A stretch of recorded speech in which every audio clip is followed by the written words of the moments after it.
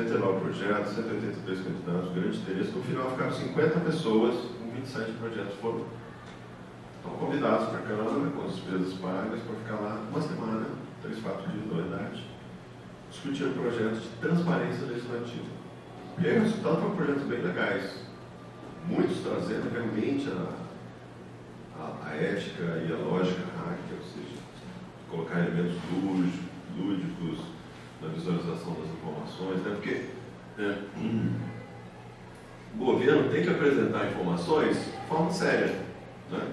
taciturna muitas vezes, às vezes meio informal demais, chata, pouco amigável, não pode ser muito colorido, não pode ser bonitinho, não pode ser gostosinho, não. Tem que ser chato, né? de forma geral, tem que ser chato. E aí tem uma discussão que a Fernanda trouxe, vocês também provocaram, que é o seguinte, o governo pode apresentar informações sem vieses, mantendo a imparcialidade, a impessoalidade, que é um elemento importante da administração, mas um pouco mais humano, um pouco mais amigável, um pouco mais interessante, um pouco mais gostosinho, vamos falar assim. Né? Qual é esse limite? Que o ponto que podemos melhorar essa forma de comunicação sem que também tenha um certo viés que, por exemplo, prejudique ou favoreça posições políticas de um lado ou de outro. É uma questão aqui é, para a gente discutir. No final, resultado de forma é, bem variada, 22 projetos, com basicamente três focos. Melhorar as informações sobre os deputados conhecer melhor a atuação dos deputados. Segundo foco, facilitar a participação popular. Terceiro foco, informações sobre o processo legislativo. Primeiro lugar foi esse projeto chamado Meu Congresso Nacional, muito interessante, que eles fizeram um negócio aqui bem legal, que é o seguinte. Há muito interesse das pessoas saber como os deputados gastam os recursos que eles têm para ser dispor, para exercer o mandato, certo? Eu acho que isso é muito importante. Embora eu acho que tão importante quanto isso ou mais é o que os deputados fazem.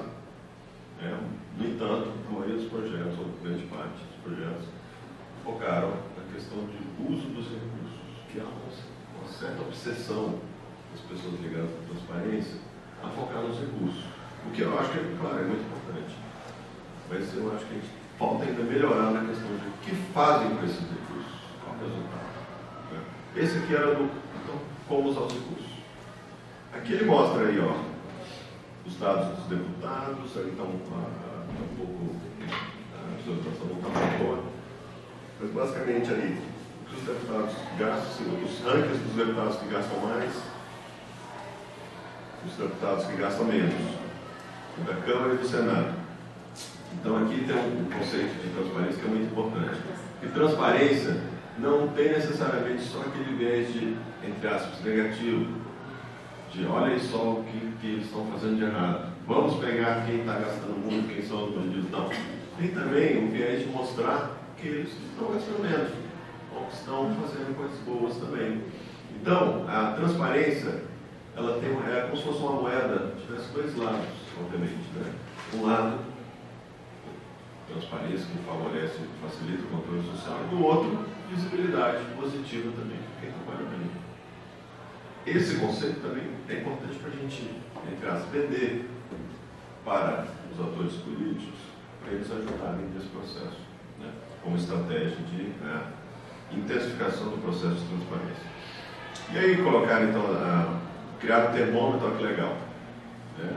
Isso a gente não poderia fazer na Câmara, se a Câmara fosse a administração da Câmara, o comitê gestor do portal da Câmara, fosse apresentar essas informações, colocar um termômetrozinho não ia ficar bem. Né? Concorda comigo? Isso tem. Aí você já passou do ponto de apresentar a informação. Sabe, é, eu acho que é, eu, do institucional. Mas a sociedade pode fazer e deve. Então é legal esse termômetrozinho, ó, isso aí está no amarelo, né? Tem alguns que estão no vermelho, tem outros que estão no verde. E também é o seguinte, os que estão no verde, o que fazem? Será que vale a pena um deputado que gasta pouco, mas também não faz quase nada? Qual o valor disso? E aquele que gasta muito, mas trabalha pra caramba? melhor ou pior, como validar isso? Difícil saber, né? Ah, a minha a academia patinando para né? tentar achar critérios de avaliação do bom parlamentar. O que é ser um bom parlamentar?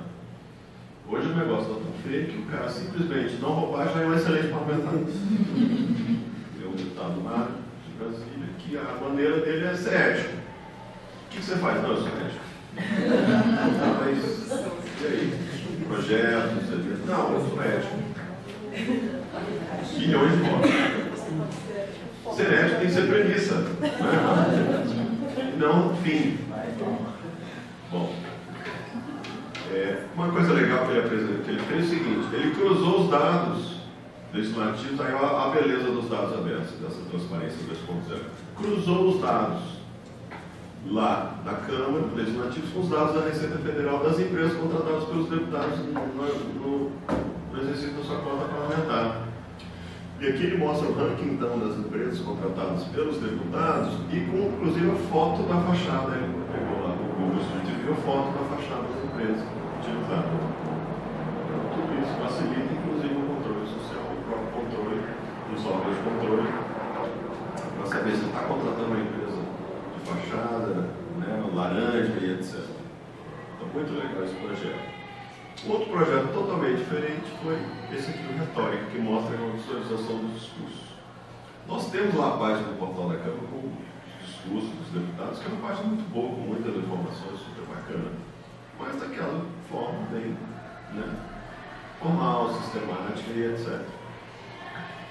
Aqui o sujeito teve uma ideia muito interessante, que é o seguinte, não, vou pegar os temas mais falados e transformar em bolhas de sabão. É, aqui que eu tirei uma foto, mas se você entrar em retóricaparlamentar.com.br, você vai ver tudo aquoso. É, é linda essa visualização. Então, ah, com, usando imagens de forma interessante, criativa, ele está dizendo o seguinte, olha, dá várias informações ao mesmo tempo de uma maneira muito mais amigável do que o portal da Câmara dá. Ele fala o seguinte, ó, os temas mais falados são esses com as bolas mais grandes. Os deputados mais falam são economia, conjuntura econômica.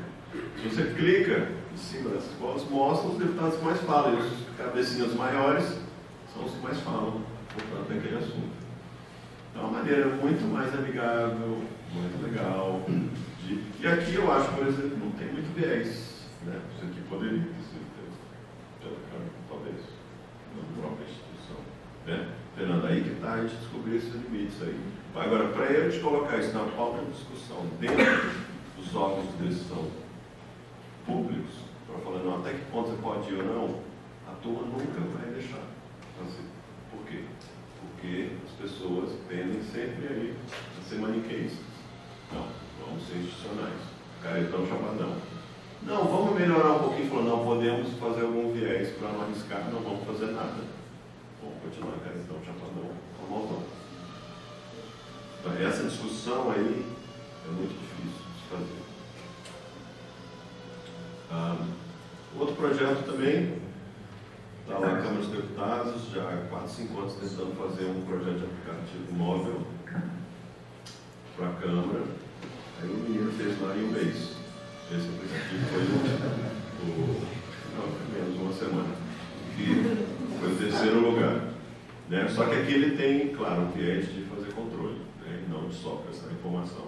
Então ele faz a média dos gastos dos deputados, tá? e coloca o ranking de códigos mais ausentes, mais presentes, mas também apresenta informações básicas dos deputados. Então é um aplicativo bem legal, chama Vitória Brasil. Para quem quiser baixar agora, o aplicativo que a gente isso.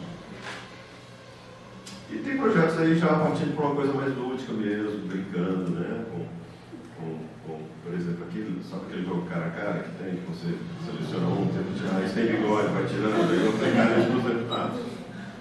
E aí, por exemplo, os cara ruralista. A coroinha? Coroinha que é o líder de bancada. As estrelinhas têm o número de mandatos.